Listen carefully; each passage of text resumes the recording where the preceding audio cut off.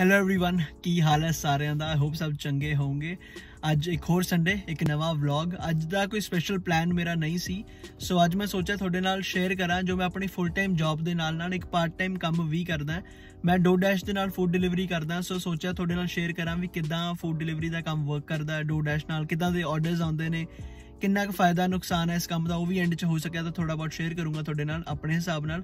ਤੇ ਬਾਕੀ ਕਿੰਨਾ ਸੌਖਾ ਜਾਂ ਔਖਾ ਹੈ, ਕਿਉਂਕਿ ਹਰ ਬੰਦੇ ਦਾ ਇੱਕ ਆਪਣਾ ਹਿਸਾਬ ਹੁੰਦਾ, ਸੋ ਮੈਂ ਆਪਣੇ ਹਿਸਾਬ ਨਾਲ ਤੁਹਾਨੂੰ ਦੱਸੂੰਗਾ ਵੀ ਮੈਨੂੰ ਕੰਮ ਕਿੱਦਾਂ ਦਾ ਲੱਗਦਾ ਤੇ ਹੋਰ ਜਿਹੜੀ ਚੀਜ਼ ਹੈ ਵੀ ਅੱਜ ਸੰਡੇ ਹੈ ਤੇ ਸੰਡੇ ਆਫਟਰਨੂਨ ਤਕਰੀਬਨ 3 ਵਜ ਗਏ ਨੇ ਇਸ ਵੇਲੇ। So usually Sunday afternoon slow ਹੁੰਦੀ ਹੈ, ਅੱਜ ਦੇਖਦੇ ਹਾਂ ਕੰਮ ਕਿੱਦਾਂ ਦਾ ਤੁਹਾਨੂੰ ਵੀ ਨਾਲ ਨਾਲ ਦਿਖਾਉਣ ਦੀ ਕੋਸ਼ਿਸ਼ ਕਰੂੰਗਾ। ਸੋ ਚਲੋ ਸ਼ਿਫਟ ਸਟਾਰਟ ਕਰਦਾ ਮੈਂ ਤੇ ਨਾਲ ਨਾਲ ਚੱਲਦੇ ਹਾਂ।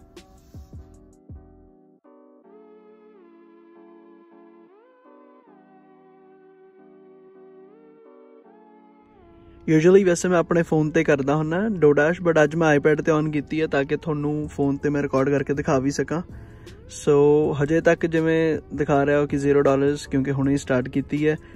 ਹੌਟ ਹੁੰਦੇ ਨੇ, ਜਿੱਥੇ ਤੁਸੀਂ ਰੈੱਡ ਮਾਰਕਸ ਦੇਖੋਗੇ ਮੈਪ ਤੇ ਬਟ ਇਸ ਵੇਲੇ ਕੋਈ ਨਹੀਂ ਹੈ।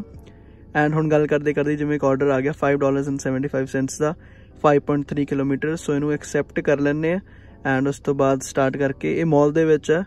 ਸਟੋਰਸ ਦਾ ਹੁਣ ਪਤਾ ਲੱਗ ਚੁੱਕਾ ਹੈ, ਸੋ ਜਾ ਕੇ ਦੇਖਦੇ ਹਾਂ, ਉਧਰੋਂ ਪਿਕ ਕਰਦੇ ਹਾਂ।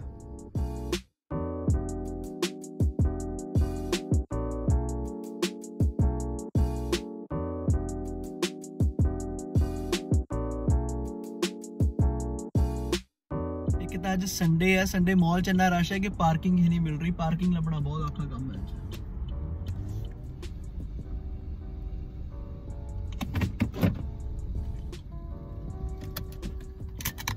ਸੋ ਫਾਈਨਲੀ ਪਾਰਕਿੰਗ ਮਿਲ ਗਈ ਹੁਣ। ਉੱਪਰ ਜਾ ਕੇ ਮਾਲ ਦੇ ਵਿੱਚ ਆਰਡਰ ਲੈ ਕੇ ਆਣਾ ਹੁਣ ਜਦੋਂ ਸਟੋਰ ਤੇ ਪਹੁੰਚ ਗਏ ਆ ਜਾਂ ਮਾਲ ਦੇ ਵਿੱਚ ਜੋ ਸਟੋਰ ਹੈ ਸੋ ਇੱਥੇ ਅਰਾਈਵਡ ਐਟ ਸਟੋਰ ਮਾਰਕ ਕਰ ਦੇਣਾ।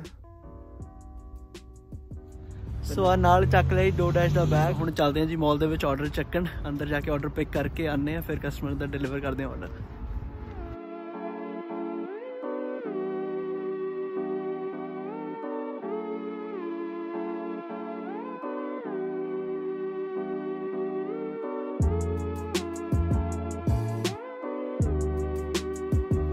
ਸੋ ਮੈਂ ਆਰਡਰ ਕਰ ਲਿਆ ਜੀ ਪਿਕ ਹੁਣ ਮੈਂ ਬਸ ਚੱਲਾਂ ਗੱਡੀ ਦੇ ਵੱਲ। ਸੋ ਹੁਣ ਮੈਂ ਮਾਲ ਤੋਂ ਸਟੋਰ ਤੋਂ ਜਾ ਕੇ ਆਰਡਰ ਤਾਂ ਪਿਕ ਕਰਕੇ ਵਾਪਸ ਆ ਗਿਆ ਟੈਕੋਵੈਲ ਤੋਂ। ਉਥੋਂ ਹੀ ਐਕਚੁਅਲੀ ਮੈਨੂੰ ਆਰਡਰ ਇੱਕ ਦੀ ਬਜਾਏ ਦੂਜਾ ਆਰਡਰ ਵੀ ਆ ਗਿਆ। ਕਦੀ ਕਦੀ ਇਦਾਂ ਹੋ ਜਾਂਦਾ ਜਾਂ ਤਾਂ ਸਟੋਰ ਬਹੁਤ ਜ਼ਿਆਦਾ ਬਿਜ਼ੀ ਹੋਵੇ ਜਾਂ ਅਵੇਲੇਬਿਲਟੀ ਆਫ ਡਰਾਈਵਰਸ ਕਾਫੀ ਘੱਟ ਹੋਵੇ। ਸੋ ਉਧਰੋਂ ਹੀ ਇੱਕ ਹੋਰ 3 ਡਾਲਰ ਦਾ ਆਰਡਰ ਆ ਗਿਆ ਸੀਗਾ। ਸੋ ਉਹ ਪਿਕ ਕਰ ਲਿਆ ਹੁਣ ਤੇ ਹੁਣ ਜਿਹੜਾ ਡਿਲੀਵਰ ਕਰਨ ਚੱਲਦੇ ਆ। ਸੋ ਹੁਣ ਜਦੋਂ ਦੋ ਆਰਡਰਸ ਆਏ ਨੇ ਪਹਿਲੇ ਤੇ ਜਾ ਕੇ ਇਹਨੂੰ ਕਨਫਰਮ ਕਰ ਦੇਣਾ that we picked it up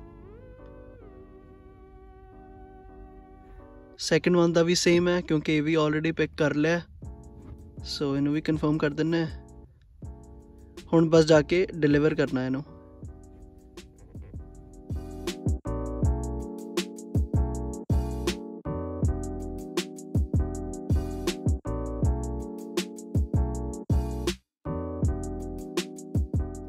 ਹੁਣ ਜਿਹੜੀ ਸੈਕੰਡ ਆਰਡਰ ਦੀ ਡਿਲੀਵਰੀ ਹੈ, ਇਹ ਕਰਨੀ ਹੈ ਅਪਾਰਟਮੈਂਟਸ ਦੇ ਵਿੱਚ। ਸੋ ਉੱਪਰ ਜਾ ਕੇ ਡਿਲੀਵਰ ਕਰਕੇ ਆਉਣਾ ਪੈਣਾ।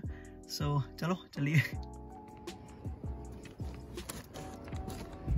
ਸੋ ਦੋ ਆਰਡਰਸ ਜਿਹੜੇ ਨੇ ਉਹ ਡਿਲੀਵਰ ਕਰਤੇ ਨੇ ਐਂਡ ਜੋ ਥਰਡ ਆਰਡਰ ਹੈ ਉਹ ਆ ਗਿਆ 925 ਦਾ 11.7 ਕਿਲੋਮੀਟਰਸ ਸੋ ਚਲੋ ਹੁਣ ਇਹ ਵੀ ਪੈਕ ਕਰ ਲਈਏ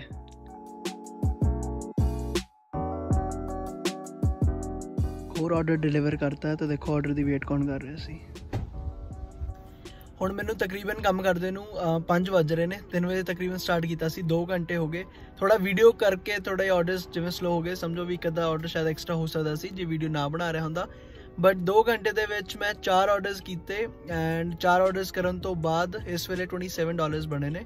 ਸੋ ਦੇਖਦੇ ਹਾਂ ਹੁਣ 1.5 ਘੰਟਾ ਹੋਰ ਕੰਮ ਕਰਕੇ ਵੀ ਕਿਦਾਂ ਦਾ ਕੰਮ ਰਹਿੰਦਾ ਤੇ ਜੋ ਐਵਰੇਜ ਆਂਦੀ ਉਸ ਤੋਂ ਬਾਅਦ ਆਪਾਂ ਡਿਸਕਸ ਕਰਦੇ ਹਾਂ। ਸੋ ਹੁਣ ਮੈਂ ਬੈਠਾ ਪਲਾਜ਼ਾ ਦੇ ਵਿੱਚ ਵੇਟ ਕਰ ਰਹੇ ਹਾਂ ਆਰਡਰਸ ਦਾ। ਜਿੱਦਾਂ ਤੁਹਾਨੂੰ ਦੱਸਿਆ ਸੀ ਸੰਡੇ ਆਫਟਰਨੂਨਸ ਯੂਜੂਅਲੀ ਸਲੋ ਹੁੰਦੀਆਂ।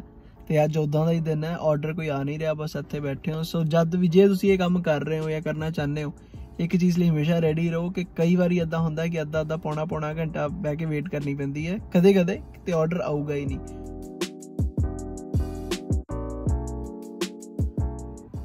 ਸੋ ਫਾਈਨਲੀ ਵੇਟ ਕਰਨ ਤੋਂ ਬਾਅਦ ਇੱਕ ਨਵਾਂ ਆਰਡਰ ਆ ਗਿਆ 695 ਦਾ। ਗੈਸ 5 ਕਿਲੋਮੀਟਰ ਦੇ ਦੇ ਕੇ ਆਣਾ ਸੋ ਹੁਣ ਇਹ ਟਿਮ ਹਾਟਨਸ ਤੋਂ ਪਿਕ ਕਰਨਾ। ਬਸ ਇਹੀ ਪਿਕ ਕਰਨ ਚੱਲਣਾ ਹੁਣ।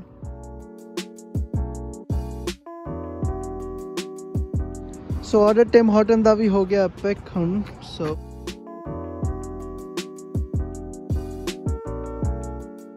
ਸੋ ਹੁਣ ਵੱਜ ਗਏ ਨੇ 7 ਤੇ ਮੈਂ 3 ਵਜੇ ਕੰਮ ਸ਼ੁਰੂ ਕੀਤਾ ਸੀ, ਮਤਲਬ ਤਕਰੀਬਨ 4 ਘੰਟੇ ਹੋ ਗਏ ਮੈਨੂੰ ਕੰਮ ਕਰਦੇ ਨੂੰ।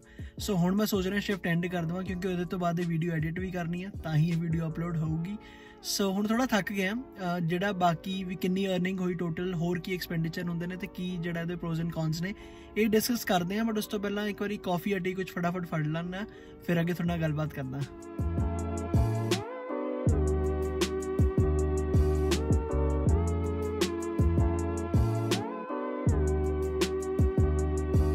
ਅੱਜ 4 ਘੰਟੇ ਕੰਮ ਕਰਨ ਤੋਂ ਬਾਅਦ ਚਾਹ ਫੜ ਲਈ ਟਿਮ ਹਾਰਟਨਸ ਤੋਂ ਐਂਡ ਹੁਣ ਇਹ ਕਰਨ ਤੋਂ ਬਾਅਦ ਸੋਚਿਆ ਤੁਹਾਡਾ ਆਰਾਮ ਨਾਲ ਕਿਤੇ ਬਹਿ ਕੇ ਗੱਲ ਕਰਦਾ ਐਟਲੈਂਟਿਕ ਪ੍ਰੋਮਿਸ ਦੀ ਖਾਸੀਅਤ ਇਹ ਹੈ ਕਿ ਇੱਥੇ ਥੋੜੀ ਦੂਰ ਜਾ ਕੇ ਕਿਤੇ ਨਾ ਕਿਤੇ ਵਾਟਰਫਰੰਟ ਆ ਜਾਂਦਾ।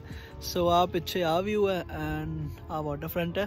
ਸੋ ਕਿਤੇ ਬਹਿ ਕੇ ਤੁਹਾਡਾ ਆਰਾਮ ਨਾਲ ਗੱਲ ਕਰਦਾ। ਹਾਂਜੀ ਸੋ ਅੱਜ ਮੈਂ 4 ਘੰਟੇ ਡਰਾਈਵ ਕੀਤਾ 4 ਘੰਟੇ ਡਿਲੀਵਰੀ ਕੀਤੀ ਡੋਡੈਸ਼ ਤੇ ਐਂਡ ਉਹਦੇ ਵਿੱਚ ਮੈਂ 60 ਡਾਲਰਸ ਬਣਾਏ so about 15 dollars an hour which is like not bad for DoorDash specially Sunday afternoon ਕਿਉਂਕਿ ਸੰਡੇ ਆਫਟਰਨੂਨ ਕਾਫੀ ਸਲੋ ਹੁੰਦੀ ਹੈ ਸੋ ਇੱਕ ਅੱਛੀ ਇੱਕ ਡੀਸੈਂਟ ਐਵਰੇਜ ਹੈਗੀ ਹੈ ਹੁਣ ਇਹਦੇ 'ਚ ਕੀ ਹੈ ਕਿ ਇਹਦੇ ਕੁਝ ਫਾਇਦੇ ਨੁਕਸਾਨ ਵੀ ਨੇ ਜੋ ਕਿ ਮੈਂ ਚਾਹਨਾ ਕਿ ਤੁਹਾਨੂੰ ਪਤਾ ਹੋਣ ਜਿਹੜਾ ਉਹਦਾ ਫਾਇਦਾ ਹੈ ਉਹ ਤਾਂ ਇਹ ਹੈ ਕਿ ਤੁਸੀਂ ਮਰਜ਼ੀ ਦੇ ਮਾਲਕ ਹੋ ਤੁਹਾਨੂੰ ਕੋਈ ਪੁੱਛਣ ਵਾਲਾ ਨਹੀਂ ਹੈ ਤੁਹਾਨੂੰ ਕੋਈ ਰੋਕਣ ਵਾਲਾ ਨਹੀਂ ਹੈ ਸੋ ਉਹਦੇ ਵਿੱਚ ਕੀ ਹੈ ਕਿ ਤੁਹਾਡੀ ਆਪਣੀ ਮਰਜ਼ੀ ਹੈ, ਜਦ ਕੰਮ ਤੇ ਜਾਣਾ ਹੈ, ਜਾਓ, ਨਹੀਂ ਜਾਣਾ, ਨਾ ਜਾਓ, ਤੁਹਾਡਾ ਆਪਣਾ ਸਕੇਡਿਊਲ ਹੈ, ਉਹਦੇ ਵਿੱਚ ਇੱਕ ਫਲੈਕਸੀਬਿਲਿਟੀ ਹੈ ਸਪੈਸ਼ਲੀ ਜਦ ਤੁਸੀਂ ਇੱਕ ਫੁੱਲ ਟਾਈਮ ਜੌਬ ਦੇ ਨਾਲ ਇਹਨੂੰ ਕਰ ਰਹੇ ਹੋ ਹੋ ਸਕਦਾ ਕਦੇ ਤੁਹਾਨੂੰ ਬ੍ਰੇਕ ਦੀ ਲੋੜ ਹੋਵੇ, ਕਦੇ ਤੁਸੀਂ ਆਪਣੇ ਲਈ ਟਾਈਮ ਕੱਢਣਾ ਚਾਹੁੰਦੇ ਹੋ, ਜਾਂ ਕੋਈ ਐਮਰਜੈਂਸੀ ਹੀ ਆ ਜਾਵੇ, ਤੇ ਉਹਦੇ ਵਿੱਚ ਕੀ ਹੈ ਕਿ ਜੇ ਤੁਹਾਡੀ ਇੱਕ ਫਲੈਕਸੀਬਲ ਪਾਰਟ ਟਾਈਮ ਜੌਬ ਹੈ, ਤੇ ਤੁਹਾਡੇ ਲਈ ਈਜ਼ੀ ਰਹਿੰਦਾ ਉਸ ਚੀਜ਼ ਨੂੰ ਮੈਨੇਜ ਕਰਨਾ। ਤੇ ਬਟ ਇਹਦੇ ਨਾਲ ਕੁਝ ਐਡਿਡ ਰਿਸਪੌਂਸਿਬਿਲਿਟੀਆਂ ਵੀ ਆਉਂਦੀਆਂ ਨੇ। ਉਹੀ ਇਹਦਾ ਕੌਨ ਵੀ ਤੁਸੀਂ ਕਹਿ ਸਕਦੇ ਹੋ, ਉਹੀ ਇਹਦਾ ਨੁਕਸਾਨ ਹੈ। ਕਿਉਂਕਿ ਤੁਸੀਂ ਸਭ ਕੁਝ ਆਪ ਹੀ ਕਰਨੇ ਹੋ, ਤੁਸੀਂ ਇੱਕ ਇੰਡੀਪੈਂਡੈਂਟ ਕੰਟਰੈਕਟਰ ਹੁੰਨੇ ਹੋ ਇਹਦੇ ਵਿੱਚ। ਸੋ ਜਿਹੜੀ ਟੈਕਸ ਫਾਈਲਿੰਗ ਹੈ ਇਹਦੀ, ਕਿਉਂਕਿ ਜਿਹੜੀ ਇਨਕਮ ਹੈ, ਇਹਦੇ ਚੋਂ ਟੈਕਸ ਡਿਡਕਟ ਨਹੀਂ ਹੋਇਆ। ਸੋ ਟੈਕਸ ਜਿਹੜਾ ਤੁਸੀਂ ਐਂਡ ਦੇ ਈਅਰ ਚ ਆਪ ਫਾਈਲ ਕਰਨਾ ਸੋ ਇਹ ਹੈ ਕਿ ਆਪ ਹੀ ਤੁਹਾਨੂੰ ਥੋੜਾ ਥੋੜਾ ਸੇਵ ਕਰਨਾ ਪੈਂਦਾ ਇਹਦੇ, ਤਾਂ ਕਿ ਐਂਡ ਦੇ ਵਿੱਚ ਇੱਕ ਵੱਡੀ ਅਮਾਉਂਟ ਨਾ ਤੁਹਾਨੂੰ ਪੇ ਕਰਨੀ ਪਵੇ ਸਾਲ ਤੋਂ ਬਾਅਦ। ਸੋ ਇੱਕ ਤੁਹਾਡੀ ਆਪਣੀ ਰਿਸਪੌਂਸਿਬਿਲਿਟੀ ਹੈ। ਫਿਰ ਜਦ ਤੁਸੀਂ ਗੈਸ ਪਾਓਗੇ ਗੱਡੀ ਦੇ ਵਿੱਚ, ਉਹਦਾ ਐਕਸਪੈਂਸ ਜਿਹੜਾ, ਉਹ ਵੀ ਕਿਉਂਕਿ ਗੱਡੀ ਜਿੰਨੀ ਜ਼ਿਆਦਾ ਚੱਲੇਗੀ ਕਾਰ ਮੇਨਟੇਨੈਂਸ ਉਨੀ ਜ਼ਿਆਦਾ, ਛੇਤੀ ਆਂਦੀ ਹੈ ਗੈਸ ਉਨੀ ਜ਼ਿਆਦਾ ਯੂਜ਼ ਹੁੰਦੀ ਹੈ ਸੋ ਉਹ ਚੀਜ਼ਾਂ ਨੇ। ਬਾਕੀ ਇੱਕ ਹੋਰ ਜਿਹੜਾ ਮੇਜਰ ਜੋ ਮੈਨੂੰ ਲੱਗਦਾ ਉਹ ਹੈ ਕਿ ਇਹਦੇ ਵਿੱਚ ਫਲਕਚੁਏਸ਼ਨ ਬਹੁਤ ਜ਼ਿਆਦਾ ਹੁੰਦੀ ਹੈ। ਸੋ ਜੇ ਤੁਸੀਂ ਇਸ ਜੌਬ ਨੂੰ ਫੁੱਲ ਟਾਈਮ ਕਰ ਰਹੇ ਹੋ ਨਾ, ਫਿਰ ਜਿਹੜੀ ਉਹ ਫਲਕਚੁਏਸ਼ਨ ਆ ਤੁਹਾਨੂੰ ਫਾਈਨੈਂਸ਼ੀਅਲੀ ਹਰਟ ਕਰਦੀ ਹੈ। ਹੋ ਸਕਦਾ ਔਨ ਅ ਗੁੱਡ ਡੇ ਤੁਸੀਂ 18 ਟੂ 20 ਡਾਲਰਸ ਐਨ ਆਰ ਬਣਾ ਰਹੇ ਹੋ but on a bad day ਹੋ ਸਕਦਾ ਐਵਰੇਜ ਇਹ 10 ਤੱਕ ਹੀ ਰਹਿ ਜਾਏ। ਕਿ ਤੁਹਾਡੇ 10 ਡਾਲਰਸ ਐਨ ਆਰ ਬਣ ਰਹੇ ਨੇ ਜਾਂ 12 ਡਾਲਰਸ ਐਨ ਆਰ ਬਣ ਰਹੇ ਨੇ, ਉਹਦੇ ਵਿੱਚ ਕੀ ਹੈ ਕਿ ਫਿਰ ਤੁਹਾਨੂੰ ਉਹ ਚੀਜ਼ ਹਰਟ ਕਰਨੀ ਸਟਾਰਟ ਕਰ ਦਿੰਦੀ ਹੈ financially which is not a good situation to be in so ਇਹ ਚੀਜ਼ਾਂ ਹਨ ਜਿਹੜੀਆਂ ਤੁਹਾਨੂੰ ਜੇ ਤੁਸੀਂ ਇਹ ਕਰਨਾ ਚਾਹੁੰਦੇ ਹੋ ਜਾਂ ਕਦੇ ਵੀ ਸੋਚ ਰਹੇ ਹੋ ਸੋ ਇਹ ਚੀਜ਼ ਨੂੰ ਕੰਸੀਡਰ ਕਰਨਾ ਚਾਹੀਦਾ। ਤੇ ਬਾਕੀ ਡਿਸੀਜਨ ਤੁਹਾਡਾ ਆਪਣਾ, ਤੁਸੀਂ ਸਾਰੇ ਸਿਆਣੇ ਹੋ। ਬਾਕੀ ਮੈਂ ਤਾਂ ਆਪਣੀ ਸਿਰਫ ਇੱਕ ਇੱਕ ਆਪਣਾ ਐਕਸਪੀਰੀਅੰਸ ਸ਼ੇਅਰ ਕਰਨਾ ਚਾਹੁੰਦਾ ਸੀ ਕਿ ਮੈਨੂੰ ਇਹ ਚੀਜ਼ ਕਿੱਦਾਂ ਲੱਗਦੀ ਹੈ ਤੇ ਮੈਂ ਇਸ ਚੀਜ਼ ਨੂੰ ਕਿੱਦਾਂ ਕਰਦਾ।